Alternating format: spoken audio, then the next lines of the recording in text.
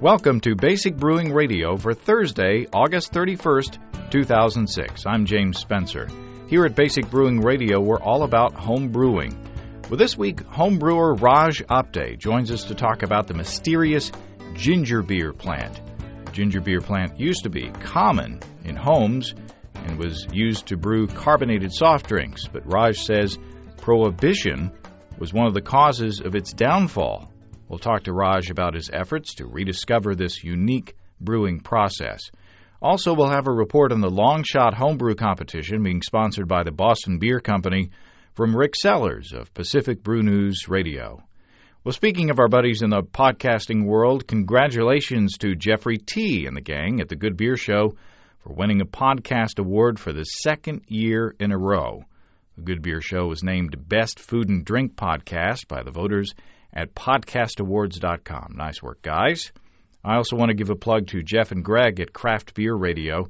They were recently invited to go on a media tour of the Anheuser-Busch hop farms in Idaho, where they saw massive amounts of hops being harvested, processed, and baled on their way to becoming what Jeffrey T. would call football beer.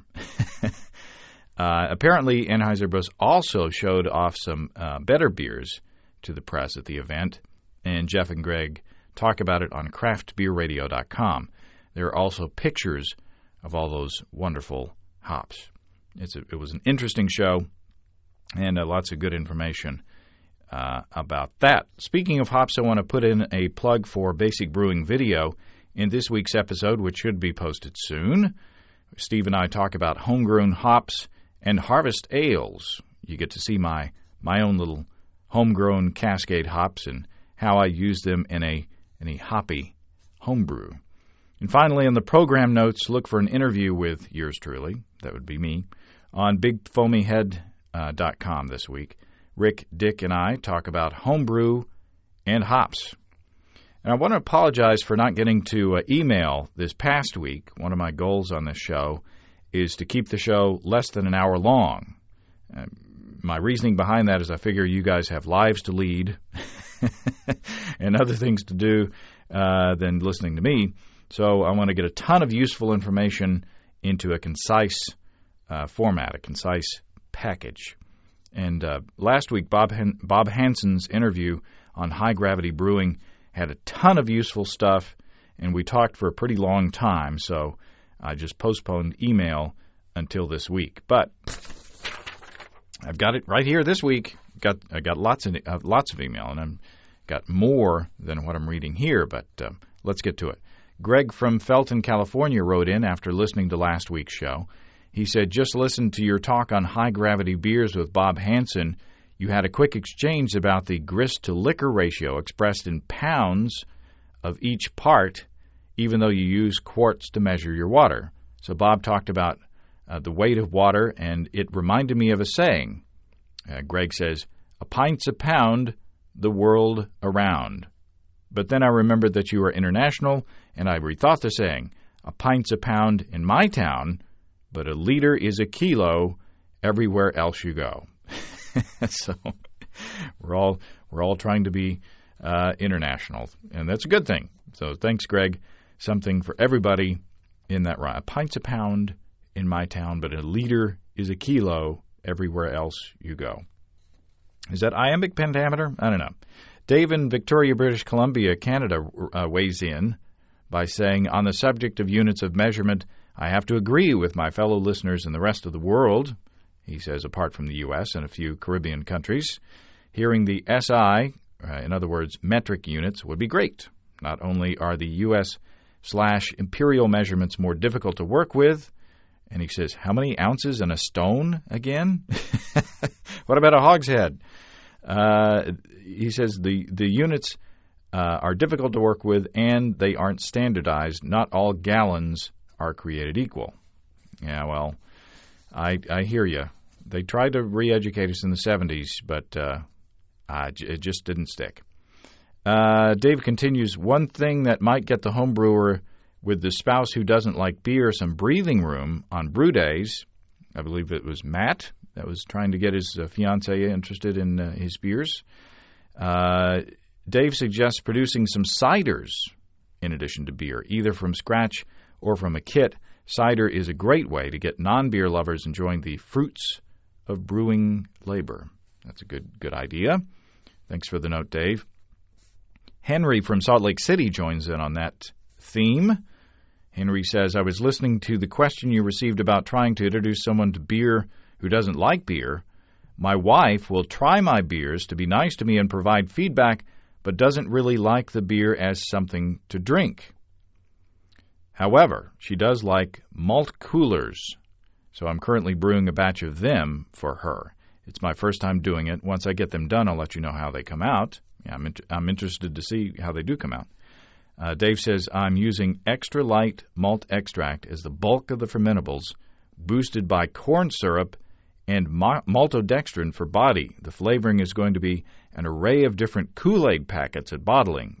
We're going to try lots of different flavors and see which ones are best. I have high hopes for the watermelon cherry flavor. Thanks, Henry. Very interesting. Uh, probably not the sort of thing I'll be trying, but uh, uh, it's good you're thinking out of the box a bit and being creative with your with your brewing. You know, it all it's all in what you like. It's not about it's not about me. It's about what you and your your wife like. Let me know how the how the malt cooler thing comes out, and and uh, if they come out well, maybe we'll share the recipe. If you if you're interested in sharing the recipe.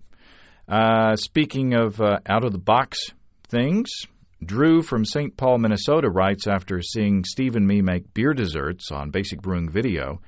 Drew says, I'm emailing today to tell you of a very odd use of beer in, re- in regard to your recent discussion of dessert and ales. Some of your listeners may regard this as alcohol abuse. Drew tells the story of an out of town visitor sharing a recipe using Great Divide Yeti Imperial Stout. Drew says, if you ever have a quart of high end chocolate ice cream and 16 ounces of Imperial Stout, well, put it in a large bowl and mix them with a hand mixer. Don't wince, don't grimace, just do it, and then hand out the result to those people who like black Russians and all those creamy drinks. The intense bitterness of good Imperial Stout complements the chocolate, and the creaminess of the ice cream cuts through the intense roasty notes. Drew says it's the best milkshake I've ever had. Now, I, I wouldn't mind trying that. That uh, that that float with the uh, uh, peach ginger beer that we had on a basic brewing video was uh, it really switched my mind over on ice cream and beer. So anyway, if I ever get my hands on a, a Yeti Imperial Stout, uh, you know I might be tempted. Kevin from Lawrenceville, Georgia, writes during a visit to the nearby Fancy Pants grocery store, I saw agave nectar in squirt bottles, like for honey. Have you ever heard of anyone using agave nectar in beer? It would not be cheap. These were $7 for 11 ounces, but it might be fun to try. Well, you know, agave nectar is the basis for tequila and also the basis for many throbbing headaches. I haven't used uh, agave nectar in beer myself, but An- Anheuser-Busch has in a in a beer called Tequiza. I tried it um, several years ago, and uh, I remember it as being very sweet. However, I'm sure there are homebrewers out there who could use the ingredient for some well balanced brews. So if you've if you've done that, let me know. Uh, Mark from Green Bay, Wisconsin writes in with a brew day disaster and a call for help. Mark says uh, he was brewing early in the morning. He said he was already 30 minutes into my hour long boil by 10 a.m. and was so ahead of myself that I decided to go fill the utility sink in my basement with ice and water for my wort cool down prior to my boil getting done. I started the sink and went back outside to observe the boil, and about 15 minutes later remembered about my water being on. Arg! says Mark. I guess that's the way that's pronounced. If so, Mark, Mark's a pirate. Uh, needless to say, my finished off and carpeted basement was half flooded. After hearing my scream, the wife appeared downstairs to say, I think this is the single most stupid move you've ever done. and Mark says that he agreed. Uh, Mark continues, Well, I can fix and dry the basement, but my biggest concern His biggest concern, mind you, is with my winter warmer spice ale that I was brewing, which I hope will be great after an extended aging period around Christmas. I did manage to cool down the wort and transfer the wort to my sterilized carboy, even in the chaos of the basement situation.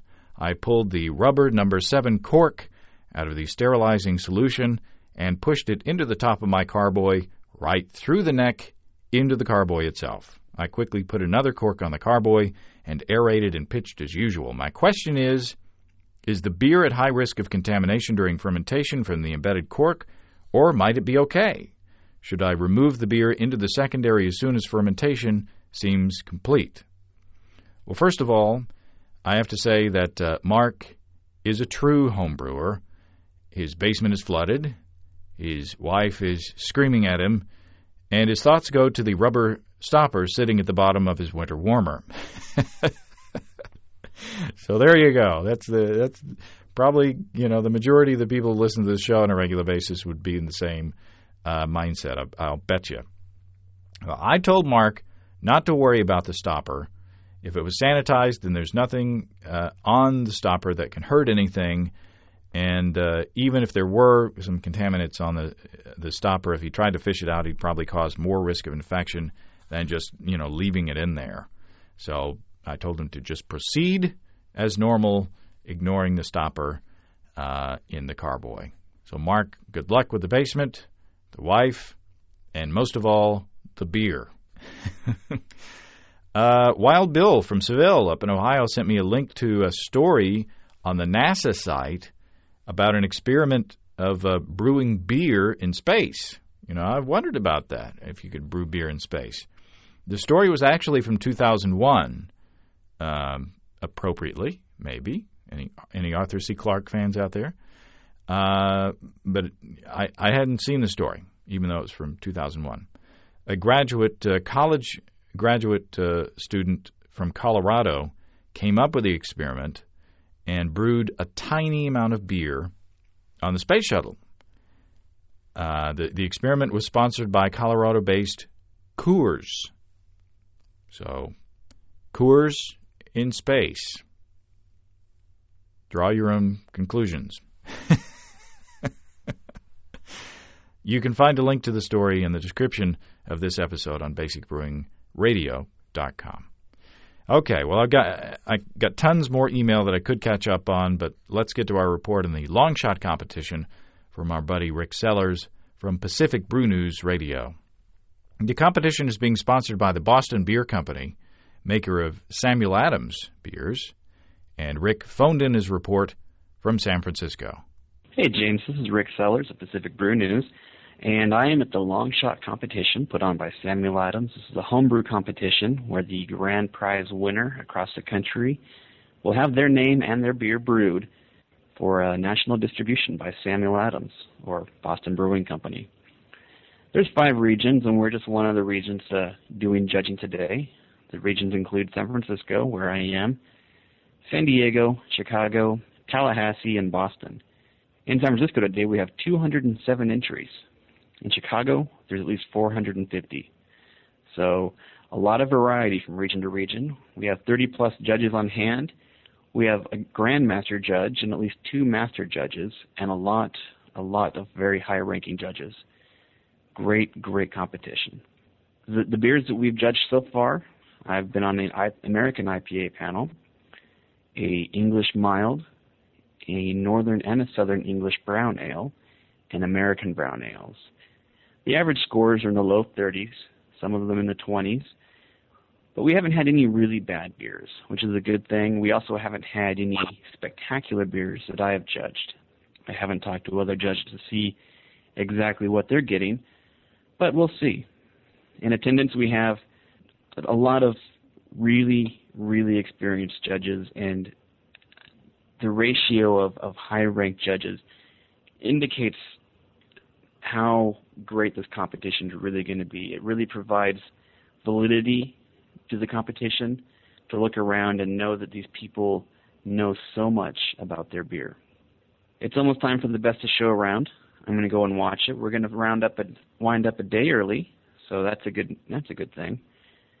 Boston Beer Company has provided us breakfast, lunch, and dinner today on Saturday. They're also buying us breakfast and lunch on Sunday.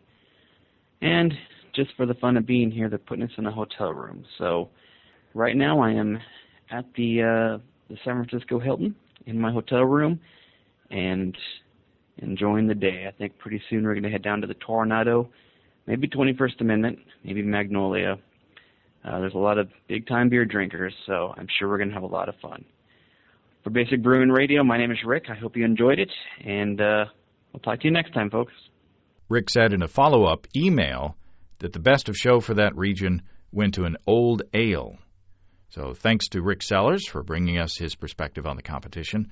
I'm sure he'll he'll have more in his podcast at pacificbrewnews.com. Now on to our interview with Raj Apte.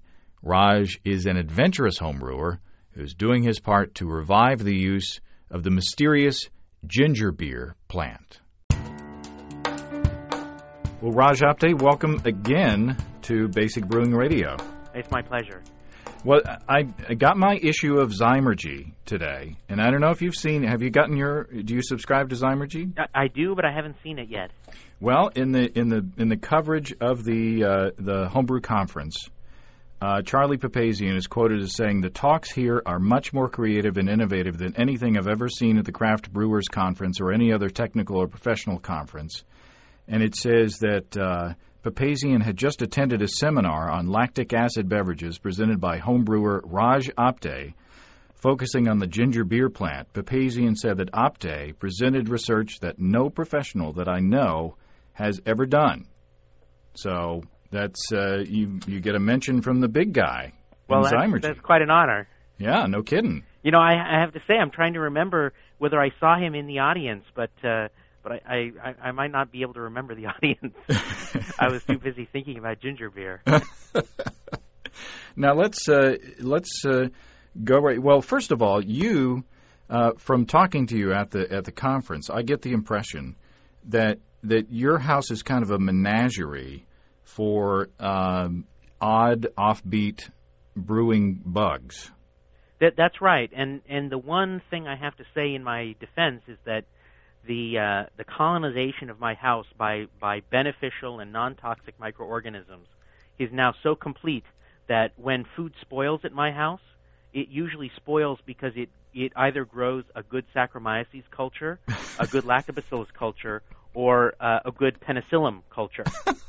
So, but like when my bread goes moldy, it doesn't go moldy with the, the green or the black, which is poisonous. It grows moldy with the white, which is penicillin mold, um, because of because of the number of cheeses I have ripening nearby. So you don't even use a refrigerator anymore. I, you know, um, the only thing I use my refrigerator for, in fact, my refrigerator right now is has a carboy in it, um, uh, to the exclusion of all else, because the apple season has come in, and the Gravensteins this year are excellent. So I, I typically do uh, uh, between three and five uh, ba- five gallon batches of cider each year, and uh, I do a, a- a sweet style of cider of the of the northern French style, and that requires a fair amount of chilling because what you're really trying to do in that case is stick the fermentation. So in that that case, the the uh, cider is bubbling away, and I stick it in the fridge and really shock it and try to stick the fermentation to keep it as a sweet cider. So ferment or refrigeration at your house is just for brewing. The food doesn't need. You don't have to worry about spoiling food because it just gets better. That's right, and the, the sourdough certainly grows, and the ye- and the and the cheese certainly ripens. and you're probably, you know, infection free from all the uh, penicillin. Well, let's let's get talking about the uh, the ginger beer plant. When I read the the title of your presentation in the in the brochure, uh, the words ginger beer plant evoke this, you know, picture in my mind of a, of a plant with a stem and roots and leaves and a cotyledon or two, you know, and and uh, it's nothing like that. It's kind of a wad of goo, isn't it? It, it is a wad of goo, and it looks very much like a kefir grain. Um, and I think the word plant in that circumstance is like the word factor uh, or factory. You know, 200 years ago, a factory w- or a factor was just a guy who was busy involved with trading. And I think a plant was anything that manufactured something. Hmm. So if you had a ginger beer plant, I think that referred to, uh, uh, say, a ceramic or or crock vessel that had this this kefir type grain in it, but the whole thing was referred to as a plant because it was used to manufacture ginger beer. Oh, I see. So it's not referring to the organism itself; it's referring to the whole system there. Yeah, I think it's a little confusing as to which one it refers to, but but to my mind, and at least looking at the etymology, I think it originally referred to as a as a means of production, and then it became clear. Uh, I mean, you know, in the case of beer, it's a little bit of a stretch to understand that yeast is the causative fermentative agent, uh, because until you have a good flocculating yeast, which I don't know whether they had in antiquity, until you have a flocculating yeast, you can't really see the yeast, so to speak. Right. Um, and in the ginger beer plant, you can see it right away because the the blob is a jelly blob, and it it it has a very clear definition. Now, the I don't know whether we should talk about what the thing is or what it produces first. What do you think is the best approach to talk about this? Let, us let's, let's I, I, think it's better to approach it kind of historically. Um, you know, this was a fermentation that was that was commonplace 150 years ago, and nobody knows quite when it was first done in Europe. There are quotations certainly back to the Crimean War, and some people claim that it came from Crimea. Other people claim that it comes from the New World, and there's a relationship between Tibi grains and uh, and ginger beer plants. Now, Tibi grains are another gelatinous blob that that are involved with the fermentation, and Tibi grains are typically found on the Opuntia cactus, and are uh, are a fermentation used to make a alcoholic beverage in Mexico, um, where you ferment cactus juice and or other juices uh, to make a beverage. Now, whether ginger beer is the same or not is extremely problematic, and there are flame wars in the ginger beer community um, about whether this is. I mean, not really flame wars because it's a, it's a it's a relaxed community, but there's certainly confusion.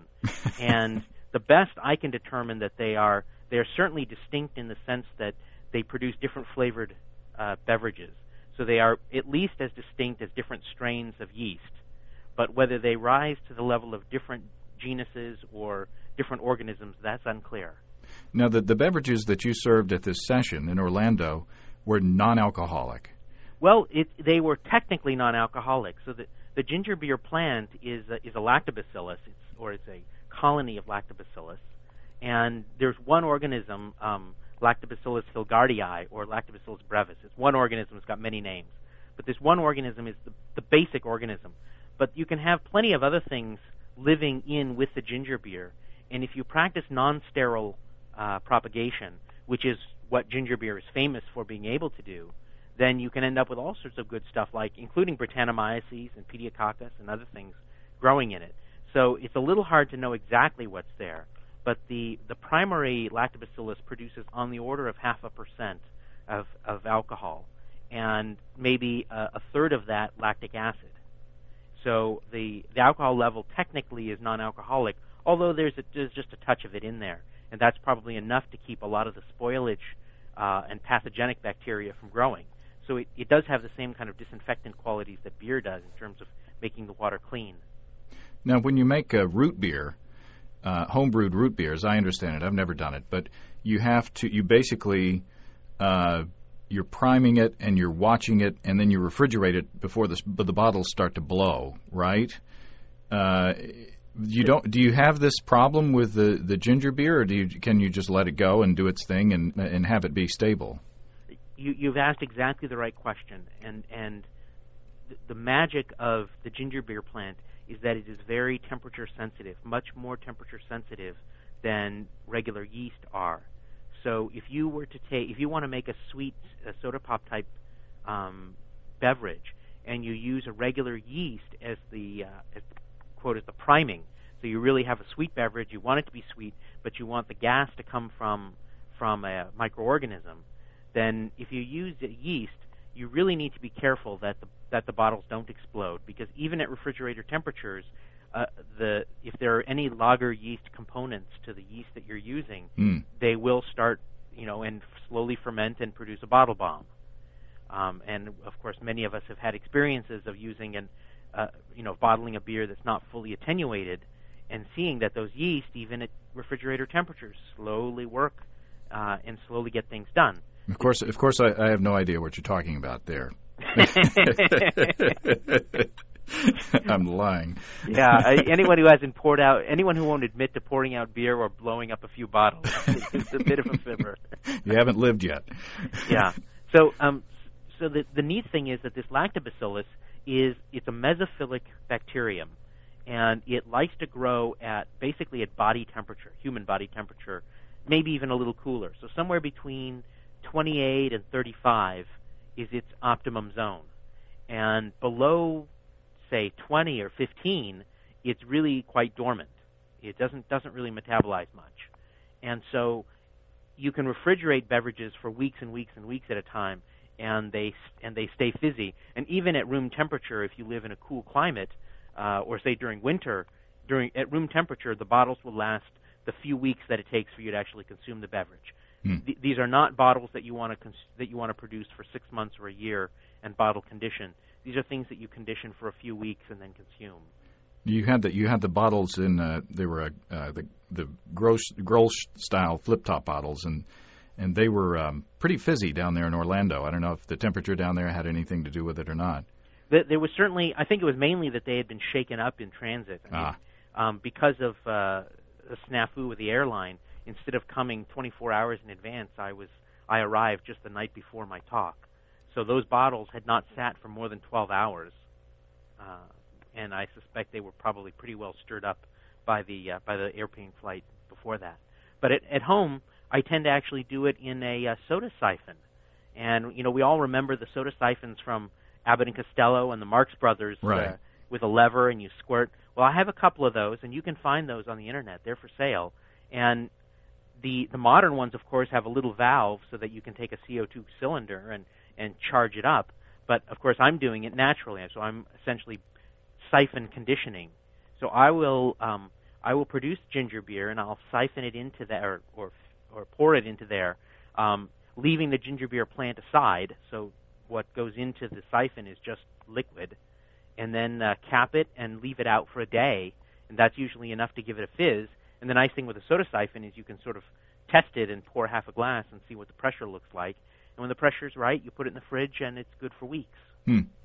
Now the the the glass that I tried uh, was kind of a lemony flavor, and I guess you can you can flavor it in in a bunch of different ways, right?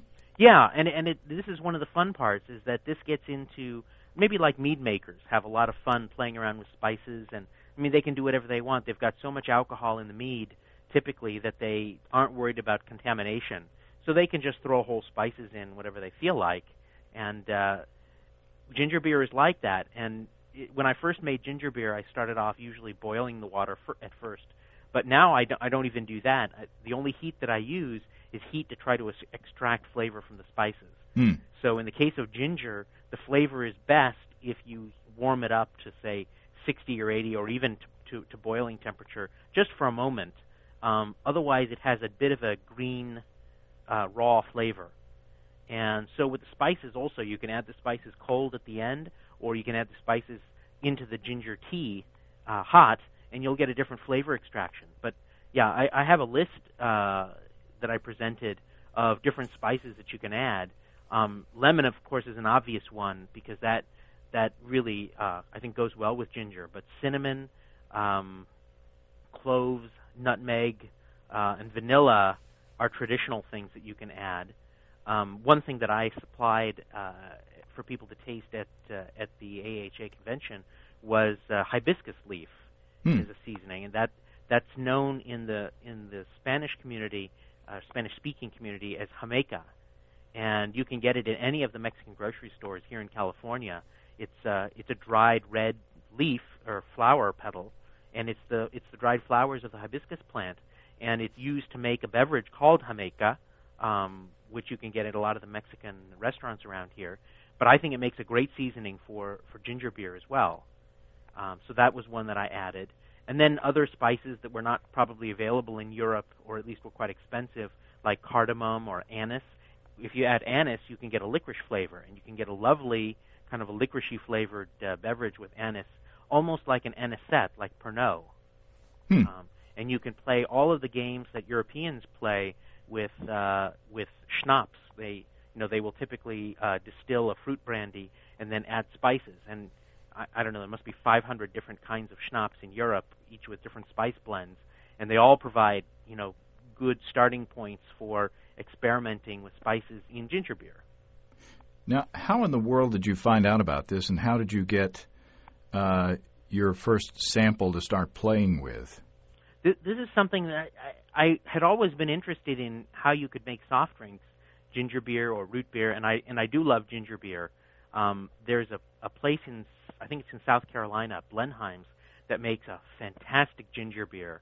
Um, but it's uh, it's basically ginger and water and caramel cover, uh, caramel color, and then um, for, and then force condi- force uh, carbonated. So it has no fermentation. And I had always wondered about ginger beer recipes that I had read in various homebrew uh, books, and none of them were sweet like the old-fashioned ginger beer. Um, so that's when I started looking for this, and I found a couple of websites that talked about this ginger beer plant, um, but I couldn't find an actual sample of it. Um, and there was there was one that was particularly frustrating from a, a British there's a British website from the National Center for Yeast Cultures in the United Kingdom that said that they had a sample of ginger beer plant, but that they wouldn't give it out to the public because they couldn't verify that it was not toxic. Yeah. And so they had it, but they were not going to supply it. But they and other people told me about uh, a German tissue bank that had a sample of it and the provenance of that sample in the German bank is not not been clear to me. I haven't been able to get the Germans to tell me where you know who deposited it and when it was deposited. But it may date from the 50s or may even date from earlier than that. Um, and the people that I had talked to were having trouble getting it out of the German tissue bank because they, of course, only deal with universities and and biotech companies. And the fact that I work in a research lab turned out to be very advantageous. So I sort of uh, slightly surreptitiously used our company letterhead and uh, and wrote to the Germans. And I think it helped that I wrote in uh, in idiomatic German uh, with the help of one of the postdocs that is working in our laboratory, uh, who was from the same town. And and that seemed to grease the skids. That and and uh, 75 euros, and uh, and I was on my way. Wow. And when the first sample came, I was just dreadfully afraid of killing it. They uh, mercifully they had given us two sterile vials, uh, each with a small amount of the ginger beer plant. And I messed around with it for must, maybe two or three months, slowly growing it under sterile conditions, using information that I had gleaned from some research that was published in France uh, in the mid uh, 80s. And slowly I figured out that the sterile propagation method that I was using was not particularly useful. Um, I could grow the plant, but but I needed, but it wasn't really ginger beer that I was producing. So then I went and took a piece of it and started doing a non-sterile propagation using, you know, real ginger and just propagating it in the traditional way or in as close to the traditional way as I could figure out. Um, and at the same time, I got a copy of a paper from 1892 from uh, from a guy named Ward, uh, who published an article in the Philosoph- Philosophical Transactions of the Royal Society. And this 1892 paper is a, is a great example of how wonderful science was 100 years ago, where somebody would study something for two or three years, write a 50 page paper, and just completely cover all of the basic questions um, in, in, in wonderful detail. And this, so this paper to me was kind of a revelation because as a scientist, modern science is oftentimes done in three or four page papers that just tackle things a bit and then you publish you seem to publish, have to publish, you know, one every couple of weeks or couple of months. So this Ward paper uh, went into detail about how ginger beer was grown both traditionally and in the lab in the UK, and um, and using techniques that he proposed, uh, I was able to start making actual ginger beer. Uh, and then then of course then the art kicks in and the science gives way, and you start trying to figure out how to make something that actually tastes good. Mm. Um, there's a company that sells ginger beer plant called Fermented Treasures, and um, I asked them where they got their ginger beer plant from. They appeared around the same time I started experimenting with ginger beer, so they didn't have the ginger beer plant when I needed it. Um, they only got into business after I first obtained it from uh, uh, from Germany, and they claim that they got theirs from the same source, from the same German tissue bank. So, um, so that's a, a place that I refer people to uh, if they'd like to buy some. and they came up with a couple of decent recipes. The the lemony recipe that you tasted was from from their recipe, Hmm. um, and it that added more lemon than I would have ever thought to add. I was adding just a tinge of lemon because that's in, in the traditional recipes. People are adding a teaspoon to a tablespoon per liter, um, and these guys wanted sort of four to six tablespoons Hmm. uh, per liter. So it was a, it was a bit of a departure, and as you said, it produced a pronounced lemon flavor, but almost like a lemonade then. Um, and I think a carbonated lemonade can be made with the same ginger beer plant with little or no ginger. Now, walk us through the process. What do you, on your normal brew day uh, for a, a, a ginger beer? uh, What what's the process? Okay. Um, so the, the the first thing is that I don't I don't make five gallons at a time because this is not something that seems to benefit by long aging, uh, long bulk aging, for example, like uh, like a, an ale or a lager would, and and it's not something that holds up in bottles at room temperature for long periods of time. So so I tend to make it in these soda siphon quantities, one or two or at most four liters at a time. And so start off with just regular water. Um, you can condition the water if, if your water doesn't taste good uh, by itself. And what I'll do is I'll typically, the day before I want to brew, I'll take some ginger, uh, fresh ginger root, I'll peel it, and I'll throw it in the blender and blenderize it until I have ginger pulp. And I'll typically need to feed in uh, some water uh, into the blender to make that pulp. And I'll throw that in the microwave and heat it until it's uh, boiling temperature, and then let it steep overnight. The longer you let the ginger pulp sit uh, in the water, um, the hotter the water gets, uh, the better extraction you get from the ginger.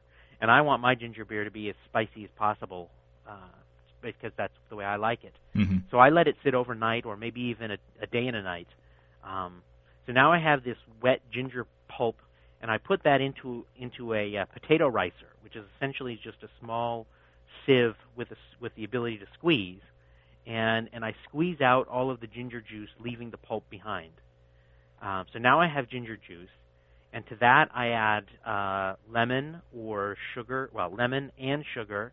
Um, one traditional ingredient is cream of tartar, which is uh, which is uh, a salt of tartaric acid, and that's a traditional thing to add. And there's some debate about why. Um, it may be that it adds a little bit of acidity, uh, but of course lemon adds far more acidity. So if you have lemon, maybe you don't need cream of tartar. I have a theory that the reason you add cream of tartar is that it has uh, potassium in it. It's it's a salt of tartar tartaric acid, and it has potassium in it. And potassium seems to be an important nutrient for the growth of lactobacilli. Hmm. And so I think it has that benefit. But so it's an optional ingredient. I have no idea. There's clearly room for experimentation to determine how much. But I add a gram per liter of of tartaric uh, cream of tartar. Um, and then I add uh, maybe 50 grams of ginger beer plant, um, some sort of hand-sized lump of ginger beer plant. The ginger beer plant can grow very large single lumps, but if you eh, mechanically agitate them or grab them or do anything, they tend to break down into a couple of millimeter sized chunks. And so typically I'm adding kind of a slurry of these three to four to five millimeter uh, jelly blobs, uh, not quite as a paste, but more like like uh, ta- wet tapioca or something. And so now we've got uh, a sugar solution, typically between five and 15 percent sugar uh, to water. Um, we've got ginger flavor, we've got lemon, we've got uh, tartaric acid, we've got any spices that we wanted to add to this. And then I'll uh, put a fermentation lock on it, uh, although that's not strictly necessary. Uh, and I'll put it in a warm spot. And the traditional traditional thing to do is to put it for two days in a warm, sunny windowsill in in England. And heaven knows what temperature a warm, sunny windowsill in England is, but I would guess about 25. I find that I've just put it on a hot plate at 30, and in 24 hours it's uh, very it's bubbling rapidly, and that's basically your sign that you've got plenty of, of uh, bacteria growing in the solution. And at that point, I usually then have to decide whether I want this to be very sweet, a little bit sweet, or not sweet at all. And some people like it not sweet at all, and they'll let it ferment for three or four days before before uh, uh, moving on. but I'll typically let it go a day to produce a medium sweetness. At which point I then strain the liquid out, leaving the ginger beer plant and any residue behind. The residue, of course, consists of some yeast lees, uh, as you would expect. There is yeast growing um, along with the bacteria, but the yeast is uh, sort of a minor participant and is produces just a little bit of a deposit at the bottom. Um, so I'll take this liquid now and I'll put it into the soda siphon or into Grolsch bottles. It's only a day old at this point. I'll put it in the fridge and I'll let it uh, rest for three days to a week. Now, originally I used to keep it outside warm for at least a day to carbonate, but I found that if I had a really active fermentation and I put it at room temperature in a jar and then put that in the fridge, by the time it chills down, it's actually produced a fairly decent carbonation. Ah. So that's something people have to play with, depending on whether they really like it, like it, like it spritzy or like it just mildly prickly. Um, and if I if you leave it out for a day or two, you can get something that will definitely bottle bomb if you do it in a Grolsch bottle. But in a seltzer bottle, you can actually dispense some fairly lively uh, ginger beer and that's kind of fun. I mean, you can definitely get it to spray across the room um, unintentionally. now, usually on the show, we're we're talking in uh, in Fahrenheit and having to remember to translate to Celsius. Uh, you know, and then I get emails from uh, Europe and from Australia and New Zealand. Uh, but you say 25 to 30 degrees uh, Celsius. What does that translate to Fahrenheit? I, I guess uh, 70 to 85 or something like that. Okay. Um, 30, let's see, 30 degrees centigrade is, uh, yeah, should be about 80 in the in the low 80s. I just want to make sure everybody's on the same page. Yeah, and so, the, but the point is, that it's a sunny windowsill type of a number. Mm-hmm. And obviously, if you live in Tucson or if you live in Maine, uh, you it's better to use the temperature numbers than yeah. than a sunny windowsill. but um, yeah, but and it's one of these things. It's extremely forgiving. So if you if you do keep it at, at 25 or say at room temperature or even a cool room temperature, um, it will ferment. It'll just take three to five days to get going instead of 12 hours or 24 hours. And it's you know so it's extremely forgiving. And because you drink it fresh or reasonably fresh, you can do a lot of experiments with it and play around with it. And it's one of the reasons why I brought a bunch of samples to AHA and handed them out because I want a bunch of people playing around with it and experimenting. This was something where every every household in Europe 150 years ago had their own recipe, and probably every household in America had their own recipe. It was prohibition that marked the end of home fermentation in the United Ah. States, and of course that killed the ginger beer plant just as much as as it killed uh, home brewing. Even But- though the even though the the alcohol level is so low. even though the alcohol level is so low, yeah, the, the prohibition people, um, I mean, maybe it was also just the question of people leaving farmhouses and moving to the cities, but a lot of fermentation was practiced in the home uh, 200 and 150 years ago that we just don't do anymore.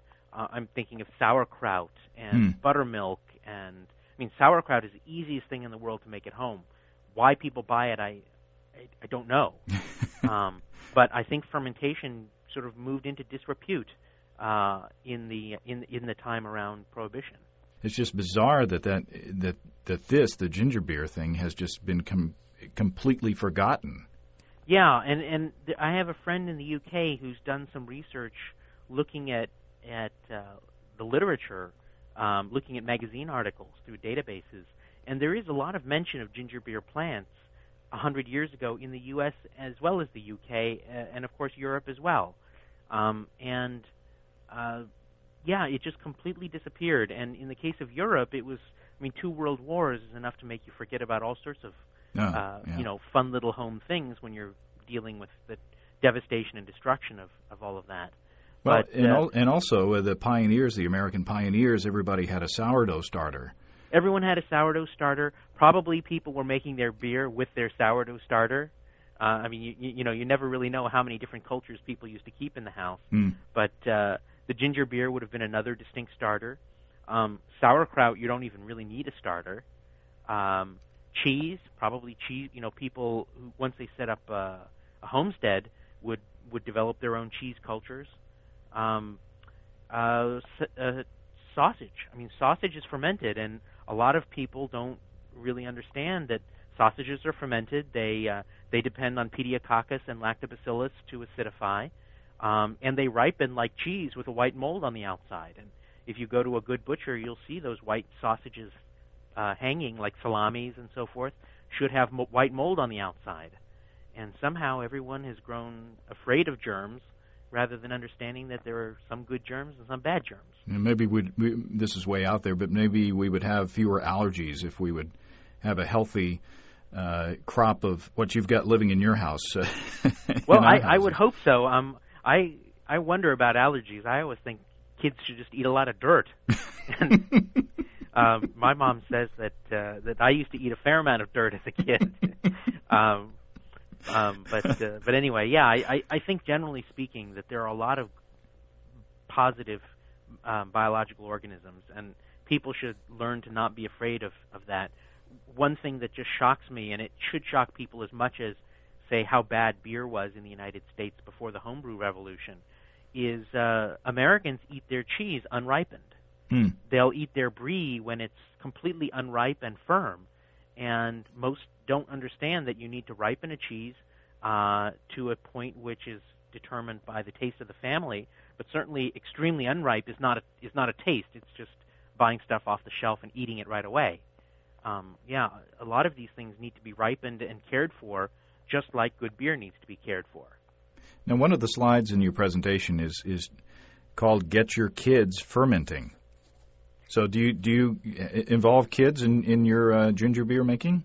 You know, I don't have kids uh, of my own yet, and so I've played around. I've certainly served ginger beer to kids um, with parents that are particularly tolerant of crazy people um, and and microorganisms. But you know, if I drink it and I say claim that I've been drinking from that from that soda siphon for the last three days and had no bad effects, some parents will be reasonable and will let their kids drink bacteria. But yeah, it's it, it's one of these things. I think this is a great way for to get kids excited by by fermentation, and it's one of the things. So you know, I, I'm hoping to start a family, and and what, if I do have uh, kids, I really do hope that that when they get to college, their experience of beer is such that they know what good beer tastes like.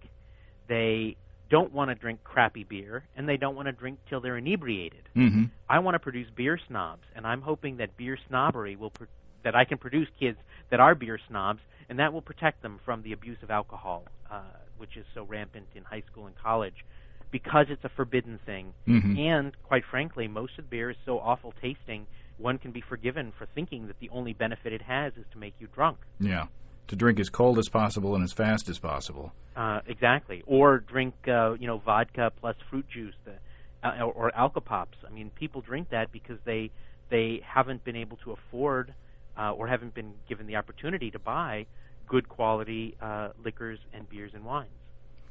Well, we've kind of gotten off on a tangent, but we have. but you know, that's uh, that's part of the fun of uh, of homebrewing and, and talking about homebrew.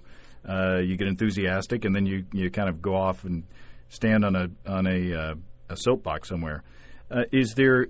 Oh, one important question: How do you keep the ginger beer plant alive? Well, so the ginger beer plant seems to be hard to destroy, and and I have yet to kill uh, or destroy any of it. Um, they propagate as you as you propagate in solution. They grow slowly, and depending on who is doing it, and I've got different correspondence of people, you know, with people that that who I've sent ginger beer plants to. Some of them claim that it it doubles in quantity every two weeks for them. Some people claim that it doubles in quantity every two months. So that's kind of the range. And and I have yet to really understand exactly why it's growing so much faster for some people Hmm. than for others. I'm wondering, for example, if it isn't related to that phosphorus question. People with hard water may be the ones who have the faster growth because minerals are an important part of the nutritional cocktail Hmm. to make lactobacillus grow happily. And so I have, you know, from the scientific literature, I have, uh, I know what makes lactobacillus grow, and I certainly know what makes this one grow. But how to translate that into ordinary water chemistry is something I haven't quite done yet. But potassium and phosphorus seem to be important for it to grow. But basically, it's it's a jelly blob, and as long as you keep it wet, uh, or actually you can even dry it and then and then resuscitate it. I think fermented treasures when they sell it, I think they sell it dried and they give you instructions on how to rehydrate it. Um, and I think they do that just for ease of transport. Sure. But uh, yeah, it, it it needs to be kept either from refrigerator temperatures up to uh, close to body temperature. Uh, and uh, interestingly, they like light. They like sunlight. Hmm. And I think it's partly because most microorganisms hate sunlight. Not only does, does sunlight skunk beer, but it actually inhibits or harms yeast growth. And this lactobacillus appears to be able to be tolerant of that. So, um, so you can leave it out in the sun and it's fine. Um, I, if you don't feed it for a few weeks, it takes a little while for it to get going again, but it'll get going. Um, it's a spore forming type of uh, an organism, which a lot of us ha- have an experience with brewer's yeast, which is specifically bred to be non spore forming, Mhm. which means it's very easy to kill and sometimes hard to revive. Um, a spore forming, the spore forming version of, of any of these things means that you can pretty much revive it with just one or two cycles of feeding. And so this, it appears to be relatively hard to kill. Is there any thought of uh, mutation over time? Um, there is, and in my mind, uh, it's a good thing. I mean, I think that uh, you know, if you're Chimay and you have a very specific yeast that you've cultivated over hundreds of years, the idea of mutation is maybe a bad idea. But Chimay didn't start off with Chimay yeast.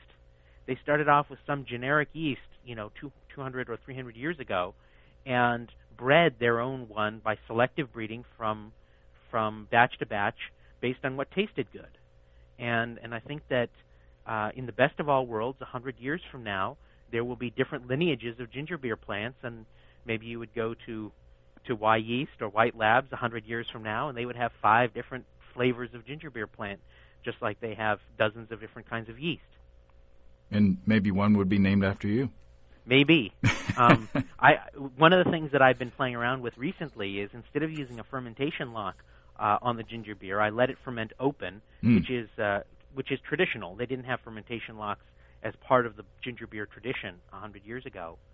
Um, and I let a Brett pellicle grow on the surface of my ginger beer. I use one of the uh, the White Labs uh, uh, Brettanomyces strains, and it produces a nice kind of a pineapple-y, citrusy uh, flavor. Hmm. Um, so I let the Brett pellicle grow on top of the ginger beer, and then that Brett becomes incorporated into this ginger beer plant, where the plant means the vessel, the dirty vessel that has, uh, say, some Brett scum on the top and some ginger beer plant stuff on the bottom and some yeast. And as long as I'm not too careful to wash that out uh, thoroughly or sanitize it, uh, I go ahead and propagate it from, from batch to batch, and it seems to be pretty good. And then you'll get what they used to call uh, spontaneous fermentation from your from your dirty vessel, right? That's right, and and and I think that that's how people used to do things. So in terms of recreating historical beers, you know, people can play around with that.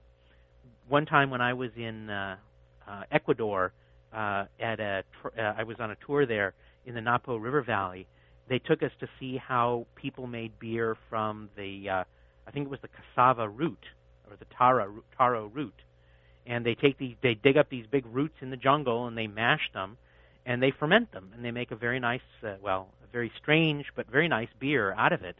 Um, and so we we saw how they do that and they have a a plastic uh, 33 gallon garbage can which is their magic vessel. And it's lo- loaded with yeasty crud all over the inside of it and they throw these ground up roots into it and they ferment it and they pour the beverage out and they sort of make a haphazard attempt to clean it but they always leave at least a centimeter thick layer of crud on the inside. Hmm. And that's that's their magic spontaneous uh, vessel, you know, kind of like the infected uh, infected wood in in Brussels. hmm Well, this is amazing. This stuff. It's it's it's really fun to talk about, and I'm sure it's fun to do. Yeah, it is, and I I hope that you know one of the things I always fear about uh, about homebrewing is you do need a modest amount of equipment, and and it really does benefit from sterile or pseudo sterile you know sanitation technique. And for me, the most daunting thing when I first learned homebrewing was how careful do you need to be with sanitation? And you know, you can get sloppy later on, but early on, if you're sloppy, you get enough bad results that you usually give up the hobby. Mm-hmm. So this is nice because it's a completely it's it's amenable to completely non-sterile conditions, and it's so robust that that you can't produce a bad ginger beer, as far as I can tell. Sometimes they're a little funky, um, but uh, you know they're never they're never harmful. Well, Raj, I, I appreciate your taking time out again to talk to us, and I'm sure that uh, I'm sure that with your prolific uh, uh, endeavors in the homebrewing uh, field, that we'll be talking again. I hope so. I hope so. if you if you come up with something new and interesting, uh, let me know. yeah, this year I'm focusing on uh, on wine and cider because uh, I've been running low on cider uh, the last year, and uh, my wife is particularly fond of my the sweet cider that I make. So, so I'm doing that now. But uh, I've got a I've got a um, a beer that I'm going to show at the Northern California Festival um, that's coming up in I guess two months now, maybe a month and a half. Uh, that has uh, four different genera in it. It's got a Saccharomyces, a Torula spora, a uh, uh, one other that I can't even remember at the top of my head, and a Brettanomyces. uh, and all four together make just a wonderful fruity ale, um, and that's become my new house beer. So uh, Wow. maybe we'll talk about uh, multi multi genera beer uh, sometime in the future. That would be amazing. Well, th- I will I will put a link on our website on basicbrewingradio.com to uh, to your website if you want me to. That would be my, uh, that'd be a great honor. Oh, terrific! And uh, we will talk to you next time. Okay, Thanks, Raj. good brewing to you. Well, thanks again to Raj Apte. Look for links to Raj's presentation from Orlando and to Fermented Treasures. Keep in mind, I don't have any personal experience with uh, fermented treasures, good or bad. I'm just putting the link out there for your reference and for your convenience. Uh, next week, I hope to have a tasting of one of the uh, small batch hop experiments that you've heard us talk about on the show. So keep your fingers crossed for that one. If you have brewing questions, show suggestions, or just want to say hey, write to james at basicbrewing.com or just fill out the contact form on basicbrewing.com. And please don't forget to tell us where you're from. And while you're on our site, you can check out our online shop where you can find great pricing on our DVDs and a combo deal to save you even more. In Introduction to Extract Home Brewing, we walk you through the extract brewing process step by, uh, step, by step or stop by stop uh, from boiling to bottling. And in basic brewing, stepping into all grain, we take you through the all grain process from milling your grain to collecting your wort, including batch sparging and uh, fly sparging, infusion mashing, and step mashing, all kinds of stuff. You can see listing the fine folks across the country who sell our DVDs on basicbrewing.com. And if there isn't a vendor in your area, you can order it from us online. Well, that's all until next week. Until then, uh, thanks for listening, everybody. I'm James Spencer, production help for Basic Brewing Radio, and our website is provided by Kelly Dodson. Basic Brewing Radio is a production of Active Voicing. We'll talk to you next time. So long.